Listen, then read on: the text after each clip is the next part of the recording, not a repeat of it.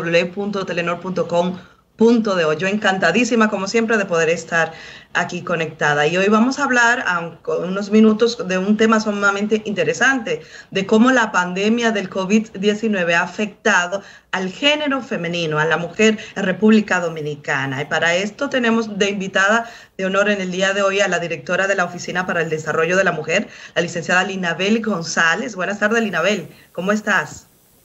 Buenas tardes. Buenas tardes, Raquel. Buenas tardes. Buenas tardes a todo nuestro público que nos sigue. Eh, muchas gracias por recibirnos en esta entrevista. Eh, claro que sí, mira, eh, una cantidad importante de, de, instituciones feministas de todo el país, más de 80, elaboraron un documento donde ponen las demandas puntuales en materia, eh, por ejemplo, de salud y, de, laboral, de cómo ha afectado esta pandemia a la mujer. Cuéntanos en sentido general, ¿de qué se trata? Así es, una serie de instituciones comprometidas con los derechos de las mujeres y organizaciones directas de mujeres que trabajamos por la promoción de los derechos de las mujeres en República Dominicana Hemos enviado a la alta comisión de lucha contra el COVID pues una serie de demandas para que sean incluidas eh, tendentes a mejorar o mitigar un poco lo que son las situaciones que viven las mujeres. No es un secreto que eh, existe, porque existen evidencias suficientes que indican que las mujeres en situaciones de emergencia se vulneran mucho, mucho más los derechos también de las niñas, de los niños. Y en este caso, eh, para garantizar mínimamente estos derechos fundamentales de las mujeres, nosotras hemos presentado este, esta serie de propuestas y peticiones al gobierno dominicano enfocado en cuatro puntos fundamentales. La parte de la garantía económica, que es fundamental, porque si sabemos que las mujeres son las más pobres entre los pobres, existe una serie de discriminación y estamos haciendo exigencias con relación a que se mantengan los trabajos de las empleadas domésticas o que se protejan el tema de las eh, trabajadoras embarazadas que han perdido sus trabajos fruto de esta pandemia que no se vulneren esos derechos y que se le dé garantía de que sus beneficios o prestaciones por maternidad pues se mantengan. La parte del ingreso de las trabajadoras agrícolas que no tienen los insumos para trabajarlo y que bajo esta pandemia pues está en, en condiciones muy precarias, pidiendo a Agricultura pues que proporcione los medios, las semillas y los insumos para que estas mujeres puedan continuar e iniciar su ciclo de producción. En la parte de la salud eh, promovemos y pretendemos que si bien es cierto que los hombres en términos de las informaciones que se arrojan, ha tenido un impacto mayor, eh, tanto con el tema de infectados como lamentablemente de fallecidos, el impacto de las mujeres en el tema de la salud eh, se estima que de no tomar las medidas correspondientes, pues va a tener un impacto eh, mucho, mucho mayor eh, en los próximos días, una catástrofe en, el mediano y, largo plazo. Tomar medidas con el tema de la salud sexual y reproductiva de las mujeres.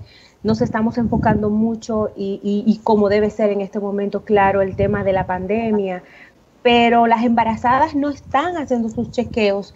Y según estuve conversando con el doctor Santos, que es el, encargado de la red de salud en nuestra provincia Hermanas Mirabal, no están acudiendo a sus chequeos prenatal. Entonces es muy importante que, se retome eso, pero que a nivel nacional se presten esos servicios de manera eficiente, tanto la parte de la prevención de los embarazos.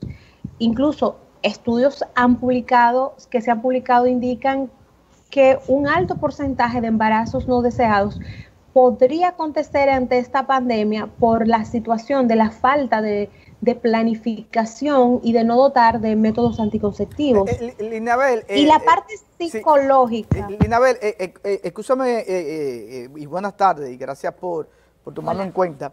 Mira, en esa parte de la mujer, tocaste dos puntos, las, las trabajadoras domésticas y el tema de las embarazadas. Eh, yo soy de los que estoy abogando ahora porque todos queremos que se reabra la economía y volver a una normalidad nueva eh, con esta pandemia del COVID. Pero ¿cuáles protocolos, eh, tanto la ONG que tú presides, eh, están asesorando a, la mujer? Por ejemplo, a la mujer embarazada, ¿qué protocolo y qué concientización se le está dando para que entienda que puede hacer su vida normal en, la nueva normalidad con toda la protección que debe de conllevar y también a esas mujeres trabajadoras domésticas eh, ¿qué, qué, protocolo deben de tener a la hora de regresar a sus labores en, las casas de familia y también a lo, a lo que tenemos, eh, por ejemplo, trabajadora doméstica en nuestros hogares, qué protocolo y qué exigencia y qué deberes debemos de tener con esa trabajadora doméstica. Bueno, por el momento sería un poco irresponsable de mi parte hablar al respecto. Debemos esperar que los organismos competentes den las orientaciones del lugar. Nosotras como ONG somos un ente de apoyo y que promovemos políticas locales para que las autoridades asuman. Ahora, nosotras estamos apoyando y cuando hablemos más del, de, de las principales eh, demandas de nosotras las mujeres ante el COVID, ahí tenemos una de ellas, que es la parte de vivir una, libre, una vida libre de violencia, una garantía de una vida sin violencia. Entonces ahí nosotras ya conjuntamente con el director regional de la policía, de manera local, ya estratégica, tenemos identificadas a las mujeres que han sufrido agresión, algunas de ellas. Entonces, antes de la pandemia, y que no se ejecutaban órdenes de arresto de manera eh, rápida. El comandante regional pues dispuso a la policía de Hermanas Mirabal, a la comandancia de acá, para que ejecute de manera inmediata todas esas órdenes. Y ya tenemos un 78% de ejecución, o sea que se avanzó bastante en ese tema, porque si bien es cierto, la violencia de género intrafamiliar se constituye como una pandemia, pero ¿qué pasa? Si ya esas mujeres que tenemos identificadas que corrían riesgo antes de la pandemia, al estar en confinamiento con el agresor, la pondría en mayor riesgo. Precisamente, precisamente Linabel, la Organización Mundial de la Salud ha dicho el pasado día 8 de mayo que prevé que en seis meses ocurra en el mundo, aumenta a 31 millones de mujeres afectadas por violencia intrafamiliar a causa del confinamiento por el COVID-19. ¿Qué implicación tiene esto, sobre todo tan grande, desde qué, qué medidas de ayuda se le está dando? A través del ministerio. Vemos que el Ministerio de la Mujer también, con quien ustedes trabajan, lo han dejado solo fuera de los organismos que están llevando las políticas de emergencia en este sentido, pero las mujeres siguen siendo violentadas. ¿Qué tienes que decir? Así es, una de las demandas es justo que se integre eh, la participación de la mujer en la toma de decisiones ante el COVID, que el Ministerio de la Mujer participe más activamente en esta alta comisión de Estado, pero sobre todo, eh, Raquel, que las mujeres participen de todos esos espacios, tanto a nivel nacional como a nivel local.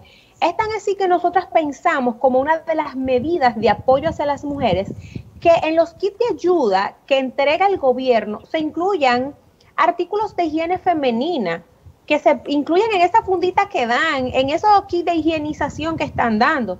Es algo que se usa todos los meses y nos llenó mucho de, experiencia, de esperanza como movimiento que la vicepresidenta inmediatamente acogió parte de esas demandas y la hizo propias y motiva a Agricultura para que entreguen las semillas y los insumos a las mujeres, pero como algo de ella, que tiene que ver con ella, y es la única funcionaria de alto nivel, ¿verdad?, que nos respondió públicamente e incluyó inmediatamente la parte de las toallas sanitarias dentro de los alimentos de quédate en casa y también de la tarjeta solidaridad, y ya es un paso de avance.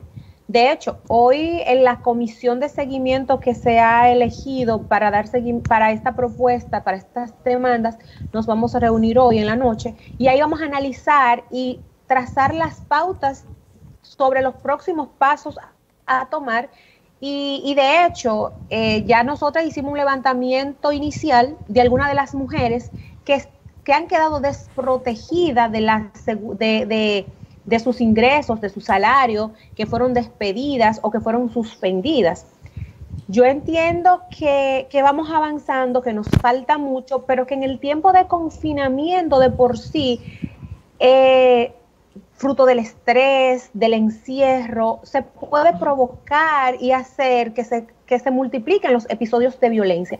Es muy difícil en, estos momentos nosotras poder hablar de denuncias, aumento, disminución de la violencia. No tenemos un parámetro cómo medir, porque no se ve presentado una situación de esta, pero además las denuncias en Hermanas Mirabal no han aumentado per se, pero las llamadas eh, eh, eh, al Observatorio de Violencia del Ministerio de la Mujer sí han aumentado significativamente. O sea, Raquel y, la Abel, de verdad que te agradecemos toda esa información.